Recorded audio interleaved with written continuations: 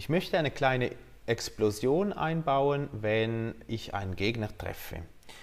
Dafür brauche ich auch ein Sprite, das dann aber ein bisschen animiert ist. Das heißt, ich mache einen neuen Sprite, Rechtsklick, Sprite erstellen, nenne den SPR Explosion und bearbeite dieses Bild. Ich mache das nur exemplarisch. Ich habe hier ein paar Partikel. Und jetzt kommt etwas Neues dazu, ein zweites Frame von diesem Sprite. Ich füge hier bei diesem Plus ein zweites Fenster ein und mache diese Partikel ein bisschen weiter auseinander. Nochmals ein bisschen, ups, nochmals ein bisschen weiter auseinander beim dritten Fenster. Und jetzt habe ich eine kleine Vorschau, die viel zu schnell funktioniert. Genau. Wenn ich jetzt dieses Bearbeitungsfenster schließe, kann ich sagen, diese Animation soll ungefähr mit 7 Frames pro Sekunde abgespielt werden und kann sie hier nochmals anschauen. Okay, das ist meine kleine Explosion. Was ich jetzt mache ist, immer wenn eine Kollision von einem Schuss mit dem Gegner passiert, soll dieses Objekt erstellt werden. Das wird einmal durchgeführt und dann zerstört.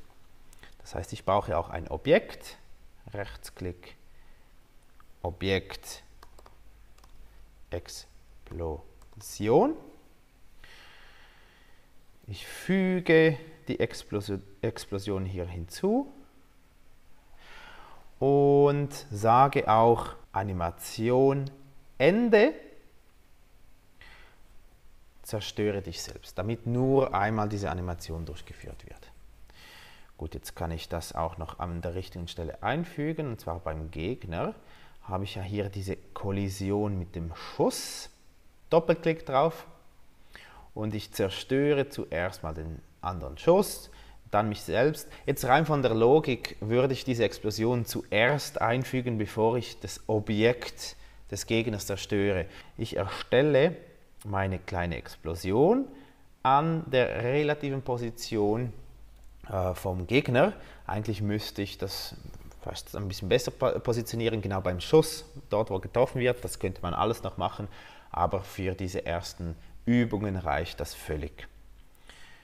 Ich zerstöre hier diese Gegner und die Explosion ist ein bisschen irgendwo, habe ich das Gefühl. Ja, ein bisschen zu weit unten, wenn wir das anschauen. Die Explosion ist mir viel zu klein. Darum gehe ich nochmals zur Explosion und sage, wenn die erschaffen wird, möchte ich sie auch größer haben.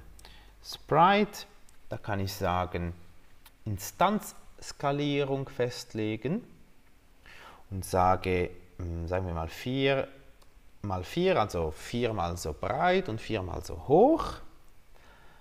Und obwohl das einzelne Pixel sind, jetzt werden die auch die Pixel ein bisschen gestreckt und die Explosion sieht schon viel besser aus. Und jetzt wissen wir auch, wieso die Explosion falsch platziert war. Ein Klassiker. Ich habe den Ursprung dieser Explosion überhaupt nicht beachtet. Ich gehe hier zum Sprite Explosion, hier unten Sprite Explosion und möchte den Ursprung natürlich hier in der Mitte haben. Das könnte ich übrigens auch hier oben auswählen mit dem Mittig. Und wenn ich jetzt nochmals eine Explosion auslöse, dann sieht das schon ganz nett aus. Jetzt könnte ich das nochmals mit Ton auch, einen Ton einbauen. Und dieses Prinzip, dass bei einer Kollision da ein neues Objekt von dieser Explosion entsteht, ist eigentlich ein spannendes Prinzip, das dann wirklich auch auf andere Umgebungen wie Scratch angewendet werden kann.